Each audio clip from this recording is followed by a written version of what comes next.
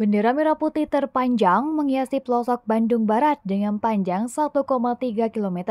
Peringatan Hari Ulang Tahun HUT Republik Indonesia yang ke-78 telah menciptakan semangat meriah di berbagai sudut daerah. Begitu pula di wilayah terpencil Kabupaten Bandung Barat KBB. Di Desa Cikadu, Kecamatan Sindangkerta KBB bukan hanya ornamen dekoratif yang menandakan keriaan dalam perayaan kemerdekaan, warga desa ini telah merancang sesuatu yang istimewa, Masyarakat Desa Cikadu telah menciptakan dan memasang bendera merah putih dengan dimensi yang tak lazim, memiliki panjang mencapai 1.305 meter atau sekitar 1,3 km. Bendera raksasa ini tidak hanya ditempatkan pada satu tiang seperti biasanya, tetapi digantung di tepi jalan agar dapat diabadikan oleh pengendara yang melintas. Kami punya cara sendiri untuk memperingati HUT ke-78 RI. Salah satunya ini, kami memasang bendera raksasa di pinggir jalan, ujar Kepala Desa Cikadu, Depi Cobi. Saat ini bendera yang telah terpasang di sisi jalan desa memiliki panjang 540 meter.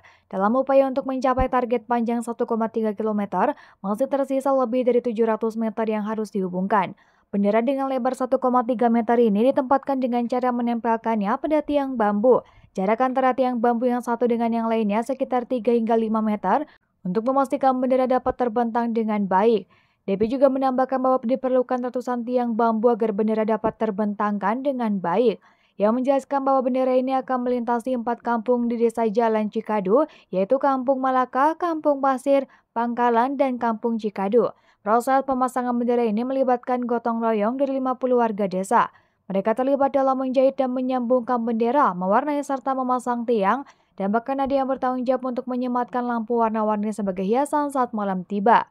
Pembuatan dan pemasangan bendera raksasa ini menurut Depi bertujuan untuk mengenang jasa pahlawan-pahlawan yang telah membawa kemerdekaan bagi generasi penerus. Hal ini juga diharapkan dapat memupuk rasa cinta tanah air pada generasi saat ini. Ia juga mengungkapkan bahwa semangat gotong royong dan cinta tanah air yang ingin mereka tanamkan terutama bagi generasi saat ini.